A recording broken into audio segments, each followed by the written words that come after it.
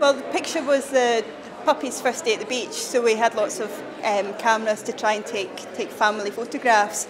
And it was just a nice quiet moment when, when the sun was just starting to go down um, and the dog and Alexander weren't even aware that I was taking a photograph and it just turned out really nicely.